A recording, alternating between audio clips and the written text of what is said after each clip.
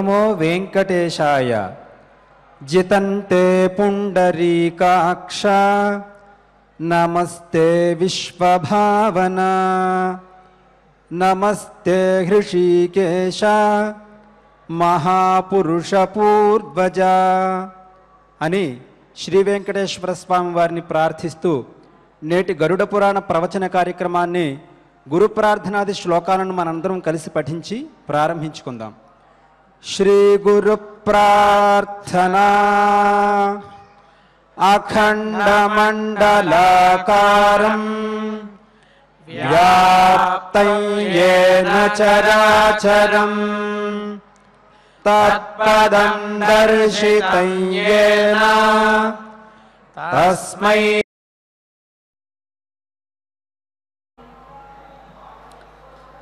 नारायण नारायण जय गोविन्दहरे नारायण नारायण जय गोपाल हरे।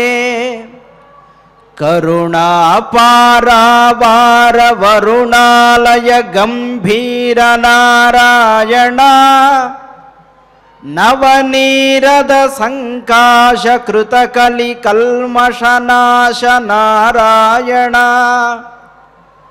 नारायण नारायण जय गोविन्दहरे नारायण नारायण जय गोपाल हरे। नारायणं नमस्कृत्य नरं चैव नरोत्तमम्। దేవీం సరస్వతీం వ్యాసం తతో జడముదీరజేత్. శ్రీ శ్రీనివాస పరబ్రహ్మణే నమ. సర్వదేవతామయమైన సభకు నమస్కరించుకుంటూ గరుడ పురాణంలో ఇరవై ఆరవ నాటి ప్రవచనంలో ఉన్నాం. ఇప్పటి వరకు ప్రవచనంలో అనేకమైన విషయములను తెలుసుకున్నాం. గరుడ పురాణము చాలా విస్తృతమైనది. ఎంత విస్తృతమైనది అనగా అటు ధర్మశాస్త్రము సాముద్రికము జ్యోతిషము ఆయుర్వేదము వాస్తు దేవతా ప్రతిష్టలు ఇత్యాదిగా అనేకము చెప్పబడ్డాయి. దేశకాల పరిస్థితులను అనుసరించి మనకి ఎంతవరకు ఉపయుక్తములో వాటిని సంగ్రహంగా చెప్పుకుంటూ వస్తున్నాం. ఆచారకాండను సంగ్రహముగాను ధర్మకాండను విపులముగాను చెప్పుకొనడం జరుగుతుంది. ఈ పురాణమును మొదటి నుంచి చివరి వరకు విన్నవాళ్ళకి విషయాల్ని ఎలా సమన్వయం చేస్తూ చెప్తున్నామో అర్థమవుతుంది తప్ప కొంచెం కొంచెం విని ఈరోజు ఇలా ఉంది రేపు అలా ఉంది అనుకుంటే దానివల్ల ప్రయోజనము ఉండదు. పైగా పురాణమును వినవలసినటువంటి పద్ధతి చెప్పవలసినటువంటి పద్ధతి రెండు ఉంటుంది చెప్పవలసిన పద్ధతి ఏమిటి అంటే చెప్పేవాడు వినేవాడికి ఎంత మేర ఆవశ్యకమోతో ఆవశ్యకత ఉన్నదో దాన్ని బట్టి చెప్పాలి. వినేవాడికి కావలసింది శ్రద్ధ.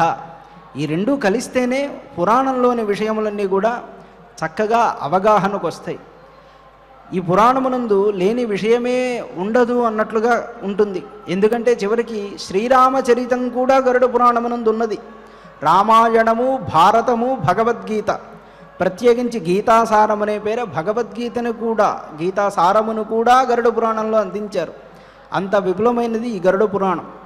ఇందులో చాలా భాగాలు మనం స్పృశిస్తూ ఎంత మేర ఆవశ్యకములో అంతవరకు చెప్పుకుంటూ వచ్చాం. ఈనాడు సదాచారములు అనబడే అంశాన్ని చెప్పుకుంటాం. సదాచారము అంటే సత్యంగా ఉండు ధర్మంగా ఉండు దయగా ఉండు అని చెప్పడం కాదు. అది ఆచారంలో ఒక భాగము. నానుడిగా వస్తూ ఉన్నది అంటాం. అంటే ఆచార పదముతో అవి కూడా చెప్తున్నారు. సదాచారము అనగా ఆహార విహారములందు మనము ఉండవలసినటువంటి పద్ధతి. శాస్త్రవిధిగా తినేటప్పుడు మనం ఎలా ఉండాలి? పెద్దవాళ్ళతో ఎలా నడుచుకోవాలి? అనే అంశాలు దేశకాల పరిస్థితుల్ని బట్టి కొన్నిటిని చెబుతూ ఉంటారు. కొన్నిటిని చెప్తూ ఉంటారు. ఇవి ఏమిటి ఆనాటి పద్ధతులు ఏమిటి ఈనాటికి ఎలా ఉపయోగపడతాయి అనే అంశాలు తెలుసుకుంటాం. మొట్టమొదటగా ఎవరైనా కూడా మనిషిని చూసినప్పుడే ఇతడు యోగ్యుడు అనిపించేలా ఉండాలి అని చెబుతారు. అలా ఎలాగూ అంటే శుక్లాంబరధరో నిత్యం కేశశ్మశ్రు నఖైశుచి అన్నారు. ఏ మనిషి అయినా ఏ వర్ణం వాడైనా ముందు శుభ్రంగా ఉండాలి అని చెప్పారు. పవిత్రత దేవుడెరుగు. పవిత్రత మెల్లగా రావచ్చు వాడి మనోభావాన్ని బట్టి. కానీ శుచి శుభ్రం అనేది ప్రతి మనిషికి ఆవశ్యకత ఉన్నది అంటారు. ఇందులో జపాన్ దేశాన్ని ఉదాహరణ తీసుకున్నా తప్పులేదంటాం అక్కడ చాలా శుభ్రంగా ఉంటారని చెప్తారు. మన భారతదేశానికి అది చాలా ముఖ్యం ఈనాడు ఉన్న స్థితికి. శాస్త్రాదుల ఎందు ఈ విషయాన్ని చాలా చక్కగా చెప్పారు. మనిషి ఎప్పుడు కూడా శుక్లాంబరధర అంటే శుద్ధమైనటువంటి బట్టలు కట్టుకుని ఉండాలయ్యా. ఎందుకన్నారు? వస్త్రేణ వపుషావాచ విద్యడా వినయేన చ వకారై పంచభిరయుక్తా నరాణాం యాంతి గౌరవం కదా అంటే వస్త్రము చేత మనిషి ఐదు వకారముల చేత గౌరవాన్ని పొందుతాడు అన్నారు. ఒకటి వస్త్రము రెండు వపుష అంటే చక్కటి రూపం చేత. అది లేనప్పుడు శుభ్రంగా ఉండాలి మంచి వస్త్రములు కట్టుకోవాలి. వాక్కు చేత శారీరక దారుఢ్యం చేత పిపీలిక వలె ఉన్నా కూడా గౌరవించేటువంటి పరిస్థితి ఉండదు. అంటే ఎంత సామర్థ్యం ఉన్నా కూడా అలా వెనక్కి నెట్టేస్తారు. కారణం శరీరమే. అది లేదు మిగిలినవి సమకూర్చుకోవాలి. వస్త్రము వపుష వాచ మంచి వాక్కు ఉండాలి. ఈ వాక్కు చేత కూడా గౌరవాన్ని పొందుతాడు.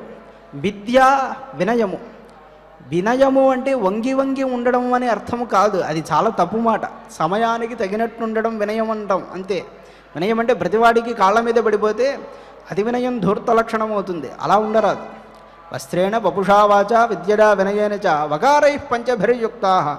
నరాణాయాంతి గౌరవం. ఈ ఐదు వకారాలు ఉన్నవాడు గొప్పదైనటువంటి స్థితిని పొందుతాడు అన్నారు. మరి దారిద్ర్యము ఎలా వస్తాయి? కుచేలినం దంతమలాపహారిణం బహ్వాజినం నిష్ఠురవాక్య భాషిణం సూర్యోదడే చాస్తమడే చాజినం విముంచతి శ్రీరపి చక్రధారిణం.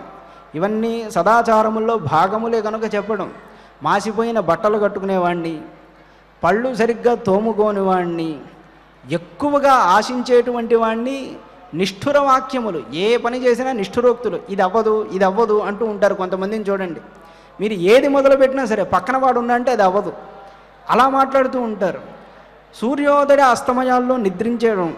ఈ లక్షణాలు ఉన్నవాడిని లక్ష్మీదేవి లక్ష్మీదేవి విష్ణుమూర్తి అయినా సరే వాడిని విడిచిపెట్టి వెళ్ళిపోతుంది అని అన్నారు. అలాంటివన్నీ కూడా అలవాటు చేసుకోకూడదు. శుక్లాంబరధర నిత్యం కేశశ్మశ్రు నఖైశుచి దంతములను గోర్లను వెంట్రుకలను ఇత్యాదులను విపరీతముగా పెంచుకోకూడదు. దీక్షలో ఉన్నట్టి వాడికి విప్రుడికి ఈ నియమం వర్తింపదు. ఎందుకంటే ఆయా సందర్భాల్లో వాళ్ళు ఉండవలసిన స్థితి ఉంటుంది. సహజముగా ఉండేవారికి ఈ నియమములు ఉంటాయి. నభార్య దర్శనే స్నీడాన్ నైకవాసాన సంస్థిత. పైగా భుజించేటప్పుడు భార్యను దర్శింపవద్దు అని చెప్పారు. ఇది ప్రాచీనమైనటువంటి ఆచారం. భుజించేటప్పుడు భార్యను చూడరాదు. ఏకవస్త్రముతో ఉన్నప్పుడు చూడరాదు. ఆయా సందర్భముల్లో కలిసి కూడా ఉండరాదు అన్నారు. అప్రియన్నవదే జాతు. అప్రియన్నవదే జాతు అంటే ఒకానొకప్పుడైనా కూడా అప్రియమును మాట్లాడవద్దు. కోపంలోనే మనం దారి తప్పుతూ ఉంటాం. ఆ సందర్భంలో కూడా అప్రియాన్ని ఎప్పుడూ పలకవద్దు. ఇది సదాచారము అన్నారు. బ్రహ్మసూత్రి వినీతవాన్ దేవప్రదక్షిణాన్ కుర్యాత్. బ్రహ్మసూత్రి అంటే ఉపనయనం చేసుకున్నట్టి వాడు వినయశీలుడై దేవప్రదక్షిణాధికములను చెయ్యాలి. ఇది ధర్మము అన్నారు. తర్వాత ఇక్కడి నుంచి చెప్పేటువంటి ఆచారాలు లోకక్షేమానికి వ్యక్తి క్షేమానికి రెండు విధాలుగా పనికొచ్చేటువంటి ఆచారాలను ఇక్కడి నుంచి చెప్తారు ఇవి చేయడం వల్ల నిజంగానే దేశం చాలా క్షేమంగా ఉంటుంది. ఒకానొకప్పుడు ఇవి పాటించేవారు కూడా. నతు మేహేన్ నదీచ్ఛాయా భస్మగోష్ఠాంబు వర్త్మసు నప్రత్యగ్ని అర్క గోసోమ సంధ్యాంబు స్త్రీ ద్విజన్మనాం అన్నాడు. నతు మేహేత్ అన్నాడు. మేహేత్ అన్న పదానికి యథార్థంగా శాస్త్రంలో ఉన్నటువంటి విషయమే అర్థం చెప్పాలంటే కామోద్రిక్తత పొంది కామాతురతతో కొన్ని ప్రదేశాలు పాడు చేయొద్దు నాయన అని చెప్పాడు. అదృష్టవశాత్తు ఈరోజు పార్కులు ఎక్కువ వచ్చాయి కాబట్టి ఇలాంటివి జరిగే అవకాశం తక్కువగా ఉంది. నతు మేహేత నదీ ఛాజ నదులడెందు కేళీ విలాసములు కూడదు. భస్మ గోష్ఠాంబు వర్త్మసు జ్వలించిన అగ్ని ఆరిపోయిన తర్వాత భస్మమునందు ఎట్టి పరిస్థితుల్లోనూ పాడు చేయరాదు ఆ భస్మాదుల్ని. గోశాలల ఎందు తప్పుడు పని చెయ్యరాదు. వర్త్మసు అనగా దారి ఎందు అందరూ నడిచేటువంటి దారి ఎందు విరుద్ధముగా ప్రవర్తింపరాదు. పైగా అగ్ని సూర్యుడు గోవులు చంద్రుడు సూర్ చంద్రుడు సంధ్యాదేవత స్త్రీలు విప్రులు వీళ్ళందరూ ఎదురుగా ఉన్నప్పుడు ప్రత్యేకించి వారి యందు దో దోషబుద్ధితో చూడరాదు. అలాగే వారు ఉన్నప్పుడు తప్పు చెయ్యరాదు అన్నారు. నేక్షేత అగ్ని అర్కనగ్నాం స్త్రీం నచ సంసృష్టమైథునాం. స్త్రీలను ఒంటరిగా ఉన్నప్పుడు చూడరాదు దంపతులు మాట్లాడుకుంటున్నప్పుడు అదే పనిగా వారి మధ్య దూరడం కూడదు అన్నారు. ఆ లక్షణం కొంతమందికి ఉంటుంది. మాట్లాడుకుంటున్నప్పుడు అలాగ వినడం లేకపోతే మధ్యలో కలహం పెట్టడం వాటన్నిటికీ చాలా భయంకరమైన శిక్షలు చెప్పారు. అది మామూలుగా ఉన్నట్టు అనిపిస్తుంది. కానీ ఆ దంపత్యో కలహం వైరం అన్నారు కదా దంపత్యో కలహం చేస్తే దానికి అతి భయంకరమైన శిక్షలు చెప్పారు. అవన్నీ ధర్మకాండలో మనకి రాబోతాయి. అలా ఎప్పుడూ కూడా ఉండకూడదు. న మూత్రం పురీషం వాపి స్వపేత్ ప్రత్యక్షిరానచ పైగా మూత్రపురీషాదులను నదుల ఎందు విసర్జింపరాదు అంటారు. కాశీ లాంటి క్షేత్రాలకు ఎక్కడికో వెళ్ళాము నీటిలోనే అన్నీ చేస్తే ఆ నీరునే తీసుకెళ్ళి స్వయంగా విశ్వనాథుడికి అభిషేకం చేస్తారు. అది ఎంత పాపం. మనమైనా ఆలోచించాలి కదా. అవతల వాడి సంగతి సరే. ఆశ్చర్యం. అక్కడ ఆ గంగా నదిని మనం అంత పవిత్రంగా పూజ చేసి అందులోనే అన్నీ పాడు చేసేవారు ఇప్పటికీ ఉన్నారు. ఊడిపోయేలాగా తోముకుంటారు సబ్బు వేసి. అదంతా గంగా నదిలోనే కలుస్తుంది. దాన్ని అలా తీసుకువెళ్ళి శివలింగం మీద పోస్తారు. అలాంటి పరిస్థితి మనకి ఇప్పుడు స్పష్టంగా కనబడుతూ ఉన్నది. మీరు హరిద్వారికి పైన ఆ కొంచెం ముందుకు వెళ్తే గంగ నీరు ఎంత నిర్మలంగా ఉందో మనకు అర్థమవుతుంది. అలాంటిది ఆ నీరు కాశీకి వచ్చేసరికి ఎలా పాడైపోతుందో చాలా బాధ వేస్తుంది. టిబెట్ ప్రాంతాల్లో లచ్చు నది అని ఒక నది ఉందట. వాళ్ళ భాష ప్రకారం లా అంటే దైవము చూ అంటే జలములు అని. అంటే దివ్య జలములు అని దాని పేరు. అక్కడ గంగా నది మూలం అని కొంతమంది అభిప్రాయం. లేదు వాళ్ళు దాన్ని అక్కడుండే సాధువులు హిమాలయాల్లో దాన్ని గంగా నది అని పిలుచుకుంటారు. ఆ జలాల గురించి వర్ణన చేస్తూ దివ్య జలములు అన్నారు వాటిని. గంగానది కూడాను దివ్య జలములు. ఆ దివ్య జలములన్నింటినీ మనం మూత్రపురుషాలతో కలుషితం చేసుకుంటున్నాం. ఇక ఫ్యాక్టరీల నుంచి వచ్చే వ్యర్థాలు ఇక చెప్పనే అవసరం లేదు. పరిశ్రమల నుంచి వచ్చే వ్యర్థాలు. ముందు మనం శుద్ధంగా ఉంటే అవతల వాడికి ఏమైనా చెప్పవచ్చు. ఇలాంటి పరిస్థితి ఇప్పుడు ఉన్నది. నదుల్ని చాలా శుభ్రంగా ఉంచుకోవాలి. మీకు అర్థశాస్త్రంలో చాణక్యుడు ఒక మాట అంటాడు. ఎవడైనా నదీ తీరాలలో విసర్జన చేసిన నదీ జలాలని కలుషితం చేసిన వాటికి శిక్ష పన్ను రెండు విధించాలి అని చెప్పాడు. ఆనాటి పద్ధతులు అలా ఉండేవి. అందుకే నదీ జలాలన్నీ కాపాడబడ్డాయి. తర్వాత ఇక తెల్లవాళ్ళు వచ్చిన తర్వాత మెల్లమెల్లగా అవన్నీ కూడా క్షయమైపోయాయి. కనుక జలములను ఎప్పుడూ కూడా పాడు చెయ్యరాదు. స్వపేద ప్రత్యక్షిరానచ అంటే నస్వపేద అంటున్నాడు. పడమటి దిశగా తలపెట్టి పడుకోరాదు అన్నారు. పడమర దిశ కాదు ఉత్తర దిక్కు పడమర దిక్కు. రెండు వైపులా తలపెట్టి నిద్రింపవద్దు. దక్షిణమున తూర్పు వైపు తలపెట్టి నిద్రపోవచ్చును అన్నారు. ష్ఠీవనాసృక్ శగృన్మూత్ర విషాణ్యప్సు నసిం నసంక్షిపేత్. ఇంతకు ముందు చెప్పిన దాన్నే మళ్ళీ చెప్తున్నారు. విషాన్ని నీటి యందు వదలడం రక్తమును ఉమ్మిని ఇలాంటి మలినమైనటువంటి పదార్థాలని ఎప్పుడు నీటి ఎందు విడవవద్దు. పాదవు ప్రతాపరేణాగ్నవు నచైనమభిలంఘడేత్ చాలామందికి అలవాటు ఉంటుంది. పాదవు ప్రతాపరేణాగ్నవు అన్నాడు. చలిమంట కాచుకునేటప్పుడు నిప్పుకి పాదాలు చూపిస్తూ కాచుకుంటాం. అది మనకు అలవాటు. అలా కాళ్ళు ఉంచడం వీపు చూపించడం చేస్తూ ఉంటాం. అది మహా అపచారముగా చెప్పబడినది. సరే మనం రోజు చేసుకునే విధానం ఒకటి ఉంటుంది చలి కాచుకునేటప్పుడు. కానీ అలా చెయ్యవద్దు అని చెప్తున్నాడు. పాదములు అలా చూపించి అగ్ని కాచుకోవడం చాలా దోషంగా చెప్పారు. దీనికి రోగము ఉన్నది అని ఆయుర్వేదంలో చెప్పారు. అంటే ఈ ఇలా చేయడం వల్ల ముందు జన్మల్లో ఇలా చేయడం వల్ల ఈ రోగం వస్తుంది అని కూడా మనకి కర్మ విపాకమునందు చెప్పడం జరిగింది. కనుక అలా చేయొద్దు. పైగా నచైనమభిలంఘనేత్. ఎప్పుడూ కూడా వాటిని దాటాలి అని చూడవద్దు. అలా చేయడం ఇబ్బంది అవుతుంది పిబేన్ నాంజలినాతోడం న శజానం ప్రబోధనేత్. పిబేన్నాంజలినా తోయం అంటే దోసిలి పట్టి నీరు త్రాగరాదు. మనం ఏదో లోటాతో నీళ్ళు తాగుతాం. కానీ దోసిలు పట్టి నీళ్ళు చిన్నప్పుడు అందరం చేసేదే. ఒకడు బోరు కొడుతూ ఉంటే అప్పుడు దోశలు పట్టి నీళ్ళు తాగుతాం. అలా చెయ్యకూడదు అని చెప్పారు. అలా చేయడం కూడా పాపకర్మగా మారుతుంది. ఎందుకు అంటే అర్ఘ్యం ఇచ్చేటప్పుడు అలా ఒక అంజలి ముద్ర పడతాం. అంజలి ముద్రలో నీరు పట్టినప్పుడు అది అర్ఘ్యజలము అనే భావం కలుగుతుంది. దాన్ని తాగడం కూడా తప్పు అని చెప్పారు. నా శజానం ప్రబోధడేత్. బాగా ఆదమరచి నిద్రిస్తున్నవాణ్ణి వెంటనే పిడుగుపడ్డట్టుగా లేపరాదు. మెల్లగా లేపడము అతని యొక్క స్థితిని అనుసరించి తర్వాత లేపడమో చెయ్యాలి తప్ప విపరీతమైన నిద్రలో ఉన్నవాడిని టక్కున లేపడం కూడదు అన్నారు. ఎప్పుడు నిద్రపోయేవాడిని లేపవచ్చు. ఎప్పుడో నిద్రపోయేవాడిని లేపరాదు. నాక్షై క్రీడేచ్చ కితవై వ్యాధితైశ్చ న సంవిషేత్ ఇది చాలా గొప్ప మాట. నాక్షై క్రీడేత్. అంటే జూదమును ఆడవద్దు. ఒక మాట సరదాగా ఆడుకోవడం తప్పు లేదనుకోండి. పందెం వేసుకుని ఆడరాదన్నారు. సంక్రాంతి లాంటి సమయాల్లో జూదం ఆడాలి అని చెప్పారు కొన్ని చోట్ల. సరదాగా ఆడుకోవాలి. అయితే అదే పనిగా ఒక ఉద్యమంలాగా జూదమును ఆడరాదు. నాక్షై క్రీడేచ్చ కితవై వ్యాధితైశ్చ నసంవిషేత్ జూదమును ఆడకూడదు సరికదా? జూదమును ఆడేవాడితో సాంగత్యమును పొందవద్దు అని చెప్పాడు. ఎందుకు అంటే అక్కడి నుంచే చిక్కులు వస్తాయి అది ఒక వ్యసనంగా మారిపోయి మనసులో అలా ఉండిపోతుంది.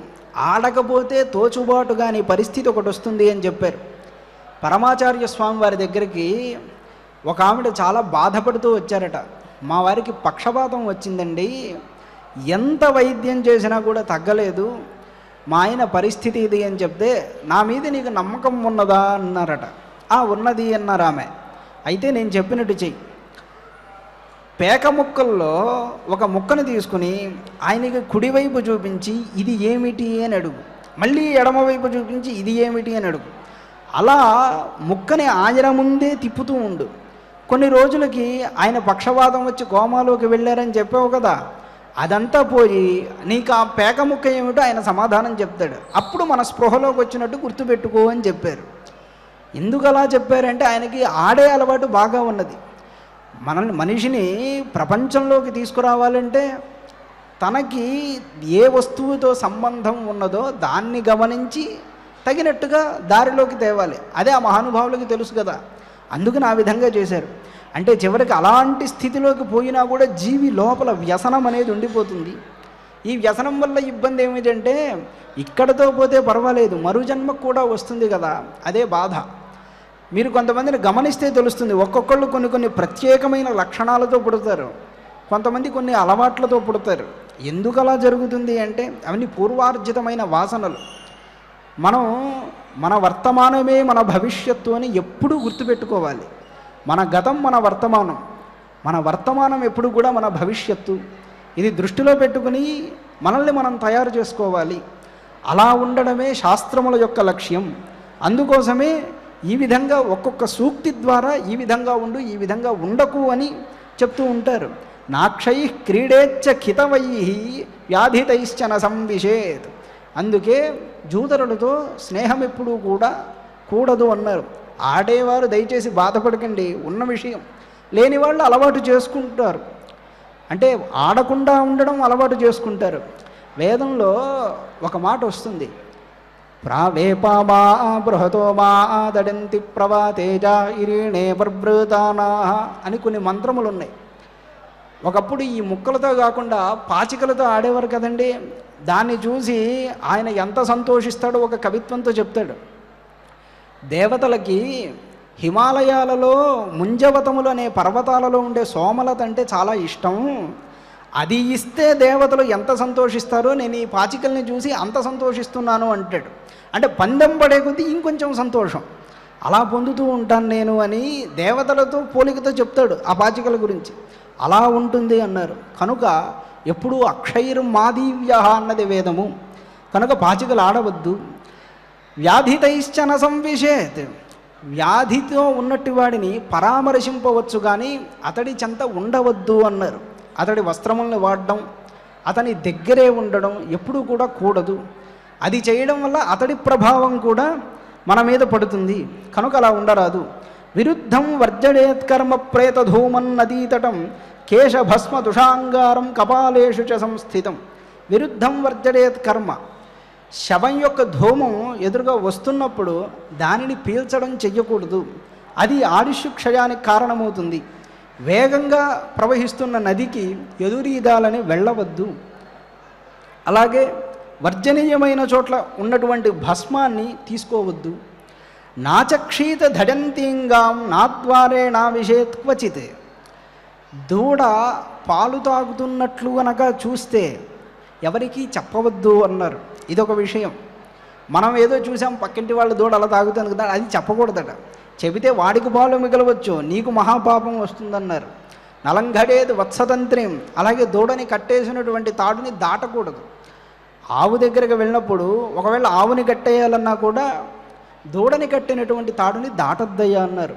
గోవు విషయంలో అలాంటివన్నీ కూడా నియమాలు ఉంటాయి కనుక దూడ క్షీరం తాగుతూ ఉండగా ఎవరికీ చెప్పవద్దు.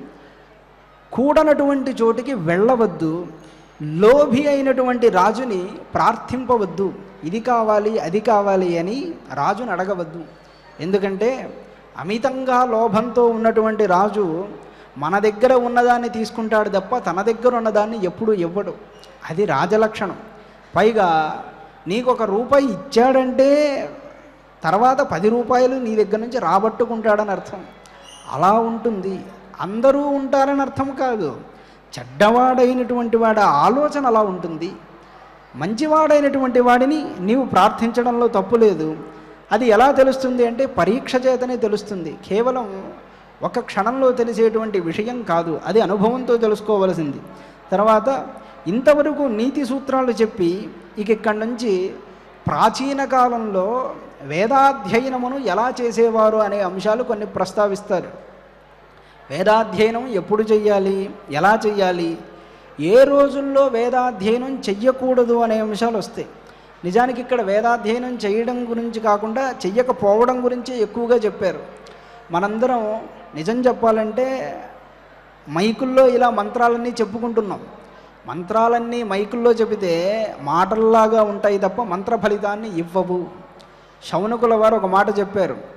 కలియుగమునందు మంత్రములన్నీ కూడా కూరలు పీకిన పాముల్లాగా అయిపోతాయి అంటారు. ఎందుకలా అయిపోతాయి అంటే దానికి కారణం ఆచారాన్ని పాటింపరు కదా అన్నాడు. ఆచారము ఉంటే మంత్రానికి ఆ శక్తి ఉంటుంది. ఆ మాట చెబితే లోకం ఒప్పుకోదు. అక్కడ వచ్చింది చిక్కు. ఇదిలా ఉంది. ఈ మంత్రానికి ఇది ఇలా పాటించాలంటే అలా ఎలా కుదురుతుంది అంటారు. అలా ఎలా కుదురుతుంది అన్నప్పుడు మంత్రము కేవలం ఒక సంగీతం లాగానో వినోదాత్మకంగా మారిపోతుంది తప్ప అది ఇచ్చేటువంటి ఫలితాన్ని కలియుగమునందు ఇవ్వదు. అది మంత్రం లోపం కాదు అంటే మంత్రమునందు శక్తి లేకపోవడం కాదు. మనం దాన్ని అందుకోలేనటువంటి పరిస్థితిలో ఉంటాం.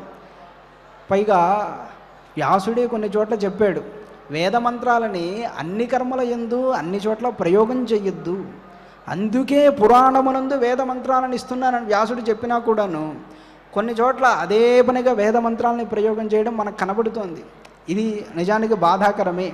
ఎక్కడో ఆహితాగ్ని అయినటువంటి వాడి విషయంలోనూ నైష్ఠికుడైనటువంటి వాడి విషయంలోనూ వేదోక్తంగా కర్మ చేయాలి తప్ప సహజముగా పురాణ మంత్రములతోనే చేయాలి. ఎందుకంటే అది ఇరువురికి శ్రేయస్కరం. లేకపోతే కీడి కలిగితే దానివల్ల కీడు కలిగితే ఎలా మనం సరిదిద్దగలం? ఉదాహరణకి ఒక పెళ్ళి జరుగుతుంది అనుకోండి ఆ పెళ్ళిలో మీరు ఎంత వద్దున్నా అందరూ మీద పడతారు. బూట్లు వేసుకుని పైకి వచ్చేస్తారు ఆ సందర్భంలో వేదమంత్రము చెబితే వ్యాసుడు అలాంటి వాటిని ఉద్దేశించే కలిలో ఇలా ఉంటారు నాయన ఇలా ఉన్నప్పుడు ఈ విధంగా చేసుకోవాలి అని పురాణ మంత్రై యజేత్ అన్నాడు కదా. అయితే అది పాటింపకపోవడం కాలక్రమంలో ఎలాగో లోపం అవ్వడం అనేది చాలా బాధాకరమైనటువంటి విషయం. మొత్తానికి వేదం గురించి ఎందుకు ఇంత చెప్పడం అంటే ఎప్పుడు చదవకూడదు కూడా చెప్తాడు ఎప్పుడు చదవాలో చెప్తాడు. అధ్యయన అధ్యాయానాముపాకర్మ శ్రావణ్యాం శ్రవణేన చ హస్తే చ ఓషధిభావేవా పంచమ్యాం శ్రవణస్య చ. ప్రాచీన కాలంలో ఉత్సర్గ హోమము ఉపాకర్మ హోమము అని రెండు హోమాలు చేసుకునేవారు. అంటే ఉత్తరాయణ దక్షిణాయన కాలాల్లో ఈ మధ్యలో ఒక్కొక్క హోమము ఆరు నెలల భేదాలతో వస్తూ ఉంటుంది. ఈ ఉపాకర్మ హోమము శ్రావణ మాసంలో చేసుకునేవారు. శ్రావణ మాసంలో శ్రావణ పూర్ణిమ నాడు చేసుకునేవారు. లేదా హస్తానక్షత్రంతో ఉన్నటువంటి సమయంలో కూడా ఈ ఉపాకర్మని చేసుకుంటారు. అక్కడ ఒక మాట చెప్తాడు ఓషధి భావే అన్నాడు. అనగా ఓషధులు మొలకెత్తుతూ ఉండగా ఉపాకర్మ చేసుకోవాలి నాయన అన్నారు. ఒకవేళ అలా కాలేదంటే భాద్రపద మాసమునందైనా ఉపాకర్మ చేయాలన్నారు. వీటి యందు కాలాన్ని అనుసరించి అనేక భేదములు వచ్చాయి ఈ ఉపాకర్మ హోమం చేసుకున్న తర్వాత బ్రహ్మచారి అయినటువంటి వాడు వేదాన్ని చదవడం మొదలు పెడతాడు ఎంతకాలం అన్నారు? ఆరు నెలల పాటు ఏకధాటిగా గురువు దగ్గర చక్కగా వేదాధ్యయనం చేస్తాడు. తర్వాత ఏమి చేస్తాడు? బంధువుల దగ్గరికి వెళ్ళడము లేకపోతే శాస్త్రాధ్యయనం చేయడము ఇవన్నీ చేస్తారు. అలా వేదశాస్త్రాలు రెండింటినీ అధ్యయనం చేసేవాళ్ళు. ఈనాడు ఉపాకరమే కష్టంగా ఉంది. ఇక ఉత్సర్గ హోమం గురించి చెప్పేదేముంది? కనుక ఉపాకర్మ ఉత్సర్గం అనే రెండు హోమాలు ఒకేసారి చేసుకొని వేదాధ్యయనంతో ఈనాటి చదువుకునే వాళ్ళు తృప్తి పడవలసి వస్తూ ఉన్నది. అలా ఉండకపోతే వారికి సైతం కష్టంగా ఉండే పరిస్థితి ఉంది కాబట్టి అలా చేస్తున్నారు. తర్వాత ఈ విధంగా ఉత్సర్గము ఉపాకర్మ చేసుకోవాలని చెప్పి వేదం చదవకూడనటువంటి తిథులు ఏమిటి పరిస్థితులు ఏమిటి అంటున్నారు. అనధ్యాయాస్త్రియహం ప్రేతే శిష్య ఋత్వికు గురుబంధుషు. వేదం ఎప్పుడు చదవకూడదు అంటే శిష్యుడు చనిపోయినప్పుడు ఋత్విక్కుగా తన కార్యక్రమానికి వచ్చినవాడు చనిపోయినప్పుడు లేదు తన గురువు చనిపోయినప్పుడు ఈ సందర్భాలలో బంధువులు చనిపోయినప్పుడు ఈ విషయములు తాను విన్నప్పుడు మూడు రోజుల కాలం వేదాన్ని చదవరాదు. చదివితే ఏమవుతుంది అంటే ప్రయోజనం ఉండదు. తర్వాత ఉపాకర్మణి చోత్సర్గే స్వశాఖ శ్రోత్రియే మృతే. ఉపాకర్మ హోమము ఉత్సర్గ హోమము ఈ హోమాలు చేసుకున్న రోజు వేదమును చదవరాదు. కొంతమంది దీనికి ప్రమాణం అడిగారు. ఇక్కడ చెప్పారు ఆ విషయం. స్వశాఖశ్రోత్రియే మృతే తన స్వశాఖ అనగా నాలుగు వేదములు ఉన్నాయి కదా. ఋగ్వేదము యజుర్వేదము సామవేదము అథర్వణ వేదమని ఈ నాలుగు ప్రతివాడు అధ్యయనం చేయలేడు. కనుక ప్రాచీనుల నుండి ఒక శాఖ వస్తుంది. నేను ఋగ్వేదమే చదవాలి అవతల వ్యక్తి యజుర్వేదమే చదవాలి అని పరంపరలో ఒక వేద శాఖ ఉంటుంది. ఇలా తన శాఖవాడు ఎవరైనా చనిపోతే అప్పుడు ఆ రోజు వేదం చదవకూడదన్నారు. తర్వాత పంచదశ్యాం చతుర్దశ్యాం అష్టమ్యాం రాహుసూతకే అన్నారు. చతుర్దశి అమావాస్య పౌర్ణమి అష్టమి తిథులయందు వేదమును అధ్యయనం చెయ్యరాదు. ఎందుకు? అంటే అష్టమి చ గురుం హంతి శిష్యం హంతి చతుర్దశి. అష్టమి గురువుని చంపుతుందయ్యా అన్నారు. అష్టమి నాడు చేసే వేదాధ్యయనం గురువుని చంపుతుంది. శిష్యం హంతి చతుర్దశి. చతుర్దశి నాడు చేసే వేదాధ్యయనం శిష్యుణ్ణి చంపుతుంది. అమాయాముభరోర్ హంతి అమావాస్య పౌర్ణమి నాడు చదివేటువంటి వేదము ఇరువురిని కూడా చంపుతుంది. ప్రతి ప్రతిపత్పాఠనాశిని. పాఠ్యమి రోజు చదివితే అది పాఠమును నాశనం చేస్తుంది అన్నారు. కనుక ఆయా దివసములందు వేదమును చదవరాదు. ఇంకెప్పుడు గ్రహణ కాలమునందు మళ్ళీ వేదము చదవద్దు అన్నారు. అప్పుడు కూడా వేదాధ్యయనం కూడదు. ఋతుసంధిషు భుక్మావా శ్రాద్ధికం ప్రతిగృహ్యచ. ఋతుసంధిషు ఒక ఋతువు నుంచి ఇంకో ఋతువుకు మారే కాలం ఒకటి ఉంటుంది. ఆ సందర్భమునందు వేదం చదవద్దు అన్నారు. అంటే ఋతువు మారే కాలం అనగా కృష్ణపక్షంలో అమావాస్య పాడ్యమి తిథులే కదా. ఆ సందర్భమునందు చదవవద్దు. భుక్వావా శ్రాద్ధికం ప్రతిగృహ్యచ శ్రాద్ధమునందు భోక్తగా నియుక్తి నియో నియోగింపబడ్డవాడు భోక్తవ్యమైన వెంటనే వేదమును చదవరాదు. ఆనాడు విడిచిపెట్టవలసి ఉన్నది. ప్రతిగృహ్యచ దానాదులేమైనా అక్కడ తీసుకుంటే అప్పుడు కూడా చదవడం కూడదు. పశుమండూక నకుల స్వాహి మార్జార శూకరై. గురువు శిష్యుడు అధ్యయనం చేస్తున్నప్పుడు వాళ్ళ ఇద్దరి మధ్యలోకి పశువులు కప్పల్లాంటి చిన్న చిన్న జంతువులైనను ముంగీస కుక్క పాము పిల్లి పంది ఇలాంటి జంతువులు ఎప్పుడైతే మధ్యలో వస్తాయో అలాంటి సందర్భమునందు కూడా వేదమును చదవరాదు. అంటే ఆనాడు అనధ్యయనంగా పరిగణించాలి. ఇన్ని నియమాలతో వేదాలని కాపాడుకుంటూ వచ్చారు. కేవలం ఒక రికార్డింగ్గా చెప్పినటువంటి విషయం కాదు ఇది. చదువుతూ ఉన్నాడంటే అతని యందు శక్తిని దాచుకోవడం కోసం అతను ఎంత గొప్పగా పరిశ్రమ చేయాలి? ఆదిభట్ట నారాయణదాస్ గారు అంటారు పుస్తకంలో రాసింది వేదమని భ్రమపడుతున్నారు. ఆవృత్తి వేసి వేసి వేసి మస్తకంలో ఉండి ఏళ్ళ తరబడి అలా వళ్ళి చెప్తూ ఉంటేనే అది వేదం అవుతుంది అతడు శ్రోత్రియుడవుతాడు అంటారు ఆయన. చాలా ఘాటుగా చెప్తారు వారు. ఆ విధముగా వేదము ఉండవలే.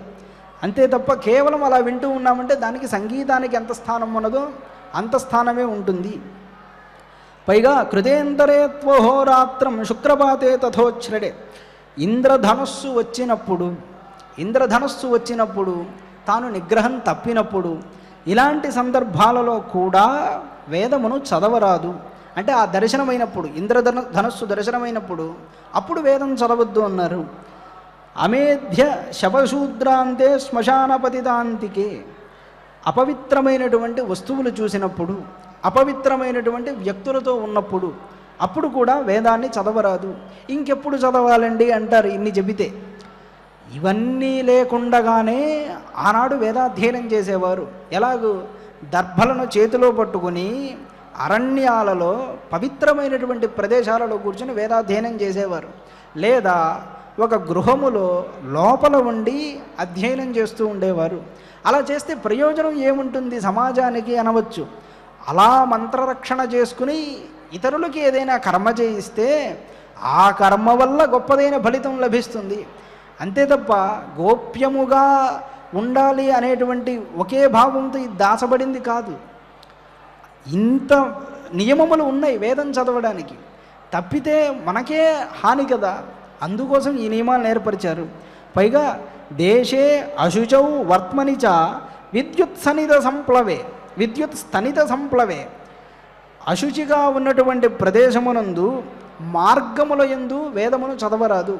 అయితే భీష్మ పితామహుడు ఒక మాట చెప్పాడు.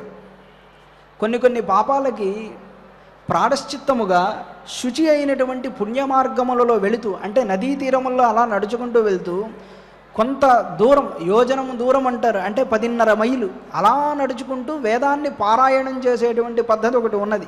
అలా చేయవచ్చు. కానీ అశుచిగా ఉన్నటువంటి మార్గముల ఎందు నేను చదువుకుంటాను వళ్ళి వేసుకుంటాను అంటూ వేదములను చెప్పరాదు. ఇలా చేయడం కూడా తప్పే. పైగా పిడుగుపాటు కలిగినప్పుడు వేదమును చెప్పవద్దు. అలాగే ఉపద్రవాలు దిగ్దాహే పాంసు వర్షే చ సంధ్యా నీహార భీతిషు భుక్వార్ద్ర పాణిరంభోంత అర్ధరాత్రేతి మారుతే. అర్ధ అర్ధరాత్రేతి మారుతే. అన్నం తిన్న తర్వాత అప్పుడు వేదాన్ని చదవడం అర్ధరాత్రి పూట వేదాన్ని చదవడం విపరీతముగా గాలులు వీస్తున్నప్పుడు వేదాన్ని చదవడం కూడదు అన్నారు. ఎందుకు గాలులు వీస్తున్నప్పుడు చదవకూడదు అంటే వ్యాసుడు దానికి సమాధానం చెప్పాడు. నాయనా ఇది అనుశాసనిక పర్వంలో వస్తుంది. వేదము శబ్దస్వరూపము శబ్దము వాయువుతో కూడుకుని ఉంటుంది కదా.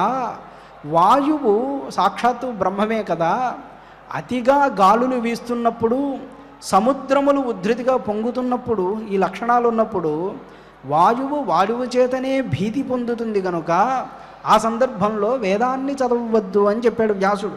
అందుకోసం ఈ నియమాలు చెప్పాడు ధావత పూతిగంధేచ శిష్టేచ గృహమాగతే. ఎవడైనా పరిగెత్తుకుంటూ వచ్చేవాడు అపవిత్రంగా ఉన్నటువంటి వాడు వీళ్ళందరూ కూడా ఇంటికి వచ్చినప్పుడు ఎప్పుడు వేదాన్ని చెప్పవద్దు. వేదద్విష్టం తథాచార్యం రాజచ్ఛాడాం పరస్త్రియం నాక్రమేత్ రక్తవిణ్మూత్రష్ఠీవనోద్వర్తనాని చ. ఇరువురి గురించి చెబుతూ ఆచార్యుడు రాజు పరస్త్రీలు ముగ్గురు వీరిని అతిక్రమించి ముందుకు వెళ్ళొద్దు అన్నాడు ఇంతవరకు వేద నియమాలు చెప్పాడు. ఇవన్నీ అధ్యయనం చేసేవాడు లేదా వేద ధర్మాన్ని అవలంబించేటువంటి మనము ఈ నియమాల్ని పాటించాలి. ఆచార్యుడిని రాజుని పరస్త్రీని ఎప్పుడు కూడా అతిక్రమించవద్దు. అనగా అతిగా భాషింపవద్దు. ఈ ముగ్గురులో ఎవరితో ఎక్కువగా భాషణం చేసినా కూడా ప్రమాదమే ఉంటుంది. వీళ్ళ మీద గౌరవంతో ఈ మాట చెప్పాడు. తర్వాత కొన్ని చెప్పి వాటి మీద అసహ్యంతో ఇంకో మాట చెప్తాడు. వేదద్విష్టం. వేదద్వేషి అయిన వాణ్ణి విణ్మూత్ర ష్ఠీవనోద్వర్తనానిజ అనగా రక్తము కళ్ళు ఉమ్ము ఇలాంటివన్నీ ఉంటాయి. వాటిని కూడా దాటుకుంటూ వెళ్ళొద్దు అన్నాడు. వేదద్వేషికి ఎలాంటి స్థానం ఇచ్చాడో గమనించాలి. కనుక ఎప్పుడూ అలా ఉండవద్దు అని చెప్పి ఆచరేత్ సర్వదా ధర్మం తద్విరుద్ధం తు నాచరేత్. మాతాపిత్రతిథీత్యుచ్చై వివాదం నాచరేత్ గృహీ. గృహస్థైనటువంటి వాడు తల్లిదండ్రులతోనూ అతిథితోనూ వివాదం ఎప్పుడూ కూడదు. అతిథి వివాదానికి వస్తే అక్కడతో ఆ మాటని తెంపేసేయాలి. అనగా అక్కడతో సర్దిపుచ్చాలి సర్దిపుచ్చి అతన్ని పంపించేయాలి. అలాగే తల్లిదండ్రులతోనూ ఎక్కువగా వాదం చేయకూడదు. ఈ విధంగా ఉంటూ ధర్మమును చక్కగా పాలించాలి. తద్విరుద్ధంతో నాచరేత్. విరుద్ధముగా ఎప్పుడు కూడా ఆచరణ చెయ్యవద్దు అని చెప్పారు. ఇలాగూ ఈనాడు కొన్ని సదాచారాల్లో మనం తెలుసుకున్నాం. తర్వాత భాగంలో ఇంకా అనేకమైన విషయాలను తెలుసుకుందాం. ఇక్కడికి ఈనాటికి ఆచార భాగానికి ముగింపు పలుకుతున్నాం. ఓం నమో వెంకటేశాడ ఇప్పుడు ఆచార్యుల వారు మన ద్వారా పితృదేవతాస్థుతిని పఠింపజేస్తారు. అథా श्रीगारुडे महापुराणे श्रीगारुडे महापुराणे आचारकाण्डे आचारकाण्डे रुचिकृता रुचिकृता पितृस्तोत्रम् पितृस्तोत्रम् रुचिरुवाच रुचिरुवाच पितॄन्नमस्ये निवसन्ति साक्षात् पितॄन्नमस्ये निवसन्ति साक्षात् ये देवलोकेऽथ महीतले वा ये देवलोकेऽथ महीतले वा तथान्तरिक्षे च सुरारिपूज्याः। तथान्तरिक्षे च सुरारिपूज्याः। ते वै प्रतीच्छन्तु मयोपनीतम्। ते वै प्रतीच्छन्तु मयोपनीतम्। पितॄन्नमस्ये परमार्थभूताः पितॄन्नमस्ये परमार्थभूताः। ये वै विमाने निवसन्त्यमूर्ताः ये वै विमाने निवसन्त्यमूर्ताः। यजन्ति जानस्तमलैर्मनोभिः। यजन्ति यानस्तमलैर्मनोभिः योगीश्वराः क्लेशविमुक्तिहेतून्। योगीश्वराः क्लेशविमुक्तिहेतून्। पितॄन्नमस्ये दिवि ये च मूर्ताः पितॄन्नमस्ये दिवि ये च मूर्ताः स्वधा भुजः काम्यफलाभिसन्धौ। स्वधा भुजः काम्यफलाभिसन्धौ। प्रदानशक्ताः सकलेप्सितानाम्। प्रधानशक्ताः सकलेप्सितानाम्। विमुक्तिदायेनभिसंहितेषु विमुक्तिदायेनभिसंहितेषु तृप्यन्तु तेऽस्मिन् पितरः समस्ताः। तृप्यन्तु तेऽस्मिन् पितरः समस्ताः। इच्छावतां ये प्रदिशन्ति कामान्। इच्छावतां ये प्रदिशन्ति कामान् सुरत्वमिन्द्रत्वमितोऽधिकं वा? सुरत्वमिन्द्रत्वमितोऽधिकं वा? गजाश्वरत्नानि महागृहाणि। गजाश्वरत्नानि महागृहाणि। सोमस्य ये रश्मिषु येऽर्कबिम्बे सोमस्य येऽर्कबिम्बे शुक्ले विमाने च सदा वसन्ति। शुक्ले विमाने च सदा वसन्ति। तृप्यन्तु तेऽस्मिन् पितरोन्नतो यैः। तृप्यन्तु तेऽस्मिन् पितरोन्नतो यैः। गन्धादिना पुष्टिमितो व्रजन्तु। गन्धादिना पुष्टिमितो व्रजन्तु। येषाम् हुतेऽग्नौ हविषा च तृप्तिः। येषाम् हुतेऽग्नौ हविषा च तृप्तिः। ये भुञ्जते विप्रशरीरसंस्थाः। ये भुञ्जते विप्रशरीरसंस्थाः। ये पिण्डदानेन मुदं प्रयान्ति ये पिण्डदानेन मुदं प्रयान्ति तृप्यन्तु तेऽस्मिन् पितरोन्नतो यैः। तृप्यन्तु तेऽस्मिन् पितरोन्नतो यैः। ये खड्गमांसेन सुरैरभीष्टैः ये खड्गमांसेन सुरैरभीष्टैः कृष्णैस्तिलैर्दिव्यमनोहरैश्च कृष्णस्तिलैर्दिव्यमनोहरैश्च कालेन शाकेन महर्षिवर्यैः कालेन शाकेन महर्षिवर्यैः सम्प्रीणितास्ते मुदमत्र यान्तु सम्प्रीणितास्ते मुदमत्रयान्तु। कव्यान्यशेषाणि च यान्यभीष्टानि। कव्यान्यशेषानि च यान्यभीष्टानि। अतीव तेषां मम पूजितानाम्। अतीव तेषाम् मम पूजितानाम्। तेषां च सान्निध्यमिहास्तु पुष्प। तेषाम् च सान्निध्यमिहास्तु पुष्प। गन्धाम्बुभोज्येषु मया कृतेषु। गन्धाम्बुभोज्येषु मया कृतेषु। दिने दिने ये प्रतिगृह्णते चाम् दिने दिने ये प्रतिगृह्णतेर्चा। मासान्तपूज्या भुवि ज्येष्ठकासु। मासान्तपूज्या भुवि येष्टकासु ये वत्सरान्तेऽभ्युदये च पूज्याः। ये वत्सराम् तेऽभ्युदये च पूज्याः। प्रयान्तु ते मे पितरोऽत्र بهم प्रयान्तु ते मे पितरोऽत्र तुष्टिम्। पूज्याद्विजानाम् कुमुदेन्दुभासः। पूज्याद्विजानाम् कुमुदेन्दुभासः। ये क्षत्रियाणाञ्ज्वलनार्कवर्णाः। ये क्षत्रियाणाम् ज्वलनार्कवर्णाः तथा विशाय्ये कनकावदाताः कनकावधाताः नीलीप्रभाः शूद्रजनस्य ये च। नीली प्रभा सूत्रजनस्य ये च। तेऽस्मिन् समस्ता मम पुष्पगन्धा तेऽस्मिन् समस्ता मम पुष्पगन्धा धूपाम्बुभोज्यादिनिवेदनेन। धूपाम्बुभोज्यादिनिवेदनेन। तथाग्निहोमेन च यान्ति तृप्तिम्। तथाग्निहोमेन च यान्ति तृप्तिम्। सदा पितृभ्यः प्रणतोऽस्मि तेभ्यः। सदा पितृभ्यः प्रणतोऽस्मि तेभ्यः ये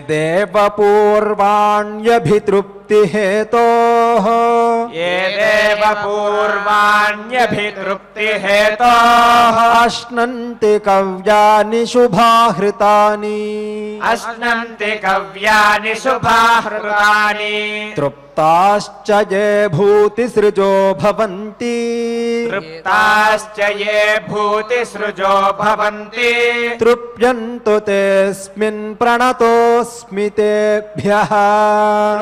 तृप्यन्तु तेऽस्मिन् प्रणतोऽस्मि तेभ्यः। रक्षांसि भूतान्यसुरांस्तथोग्रान्। रक्षांसि भूतान्यसुरांस्तथोग्रान्। निर्नाशयन्तु त्वशिवम् प्रजानाम्। निर्नाशयन्तु त्वशिवम् प्रजानाम्। आद्याः सुराणाममरेश पूज्याः आद्यासुराणामरेश पूज्याः तृप्यन्तु तेऽस्मिन् प्रणतोऽस्मि तेभ्यः।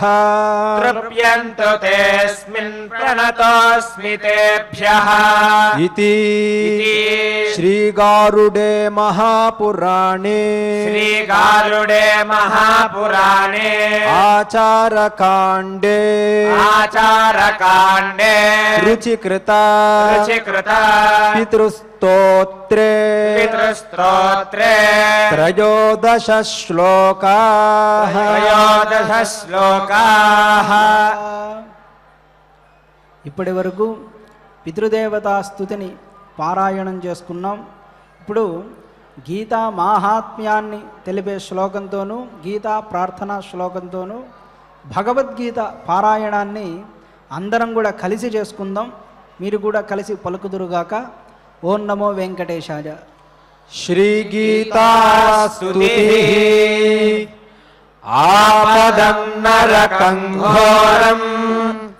గీతాధ్యాయన పశ్యతి. నిత్యం ధారయతే సమోక్షమధిగచ్చతి श्रीगीता प्रार्थना सर्वोपनिषदो गावः दोग्धा गोपालनन्दनः पार्थो वत्सः सुधीर्भोक्ता दुग्धम् गीतानुपदम् महत् अथ श्रीमद्भगवद्गीतासु उपनिषत्सु ब्रह्मविद्याया योगशास्त्रे श्रीकृष्णार्जुनसंवादे विश्वरूपदर्शनयोगे एकादशाध्याये श्लोकाः। अर्जुन उवाच मदनुग्रहाय परमम् गुह्यमध्यात्मसङ्गीतम् यत्त्वयोक्तम् वचस्तेन मोहोऽयम् विगतो मम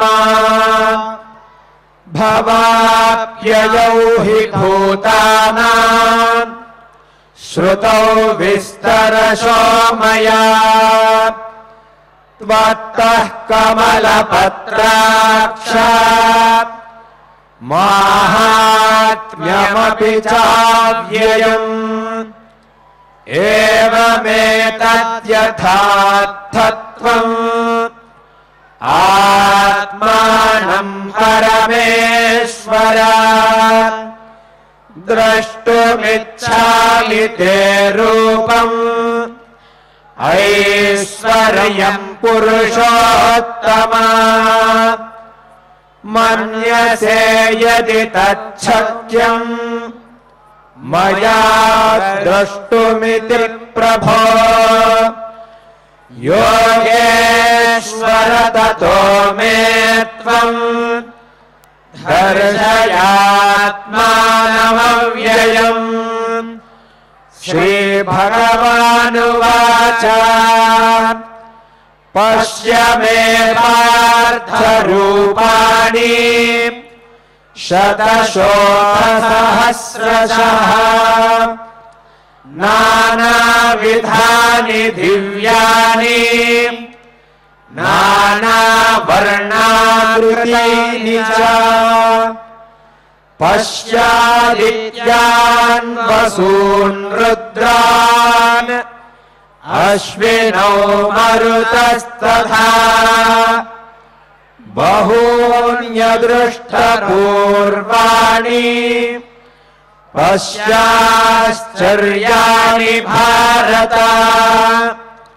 इहैकस्थम् जगत्कृत्स्नम् पश्याद्य सचराचरम् मम देहे गुडाकेश यच्चान्यद्द्रष्टुमिच्छसि न तु माम् शक्यसे द्रष्टुम् अनेनैव स्वचक्षुषा।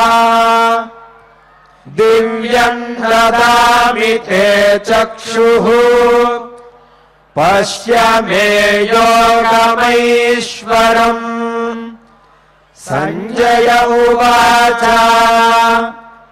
एवमुक्त्वा ततो राजन् महायोगेश्वरो हरिः दर्शयामास पार्थाय परमं रूपमैश्वरम् अनेकवक्त्रनयनम् अनेकाद्भुतदर्शनम् अनेकदिव्याभरणम् दिव्यानेकोद्यतायुधम् दिव्यमाल्याम्बरधरम् दिव्यगन्धानुलेपनम् सर्वाश्चर्यमयम् देवम् अनन्तम् विश्वतोमुखम् दिवि सूर्यसहस्रस्य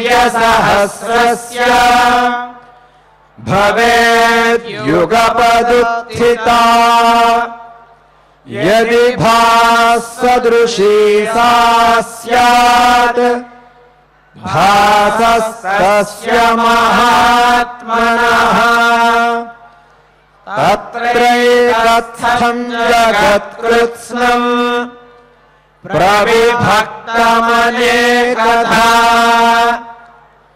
अपश्यद्देव देवस्य शरीरे पाण्डवस्तदा। ततः स विस्मयाविष्टः हृष्टरोमाधनञ्जयः। प्रणम्य शिरसा देवम् कृताञ्जलिरभाषत। इति श्रीमद्भगवद्गीतासु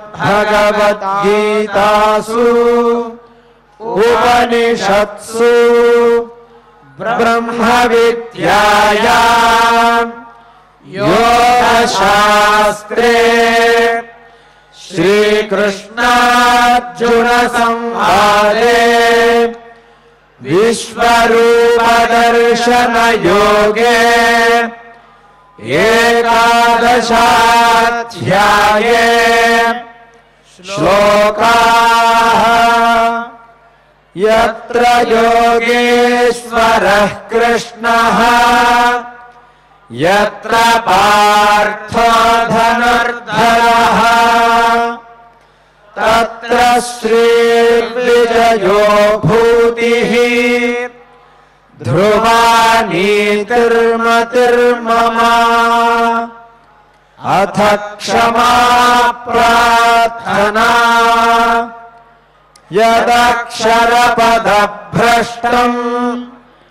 मात्राहीनम् च यद्भवेत् तत्सर्वम् क्षम्यताम् देव। नारायण नमोऽस्तु ते। अथ भगवत्समर्पणम् कायेन वाचा मनसेन्द्रियैर्वा बुद्ध्यात्मना वा प्रकृते स्वभावात्। करोमि यद्यत् सकलम् परस्मै। नारायणायेति समर्पयामि। अथ लोकक्षेम प्रार्थना सर्वे भवन्तु सुखिनः। सर्वे सन्तु निरामयाः। सर्वे भद्राणि पश्यन्तु। मा कश्चित् दुःखभाग् भवेत्। अथ मङ्गलम् श्रियः कान्ताय कल्याणनिधये निधयेऽर्थिनाम्